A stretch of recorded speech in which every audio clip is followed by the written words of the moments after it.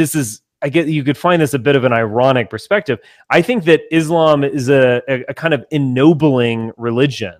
And and I, I mean that rather seriously. It is a warrior cult, uh, much unlike Christianity, and it in a way makes these Arabs and, and Africans and, and Turks in, in a way kind of better than they are. It makes them into kind of supermen types uh, whereas they otherwise would be, you know, about smoking hookah in the desert. And it gives them a fighting spirit. Now, that from our perspective, that's not good. we should maybe want to convert them to uh, postmodernism or uh, Christianity, perhaps. But from their perspective, it, it in a way makes them more dangerous. It, it's a black flag that can be raised against the West. Yeah, and uh, statement to make. Yeah, so that's kind of my take on Islam. But if you read me a passage from Islam that's badass or something, I'm not really going to counter signal it. Right. Like, you know? it, it, goes again to speaking what we said before about uh, appreciating the arsenal that your enemy is equipped with.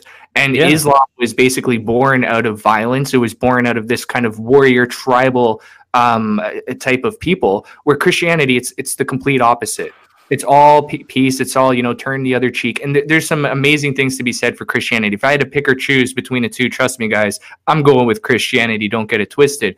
However, um, I can't help but admire that you know warrior nature to Islam, and they have kind built um, a more masculine alpha type of uh, of youth through that. If you challenge a Muslim whether it's in school, whether it's in on uh, you know the work site or out on the street, if you challenge him about his beliefs, he is going to get very adamant. He's going to defend what he believes in with every fiber in his body. We're Christians, we've lost that. We don't actually, well, I'm not Christian, you know, the whole cultural thing, but Christians mm-hmm. do not uh, follow their religion with the same type of zest and the same type of passion that Muslims do. And it doesn't translate into any sort of like, um, uh, imperial worldview. The Christian is completely passive. He's not on any sort of conquest to Christianize the world, where Muslims right. are very much entrenched in that battle. So not only are they raising um, a, a, younger generation that is more true to a masculine type of form.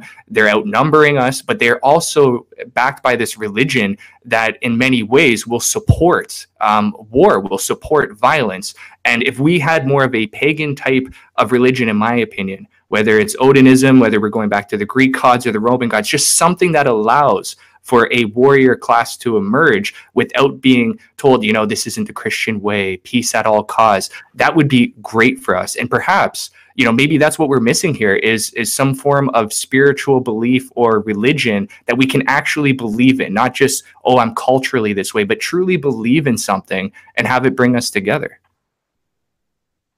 Yeah. Amen. Yeah. I, I, think, I, think, we're missing a, a, uh, a spiritual backing. And that that's yeah. something we've kind of uh, talked about a lot. And you know when you said like what is whiteness?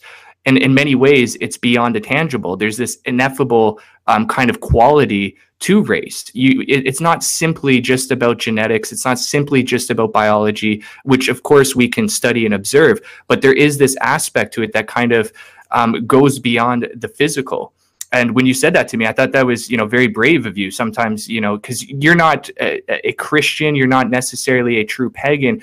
You're somebody who kind of appreciates the the various things. So you're going to have people coming at you from various angles uh, whether it's the diehard christians or the atheists or whatever. Yeah. so to to put it in that way i thought was very honest very true and um, it was very helpful for me as well. Yeah. All right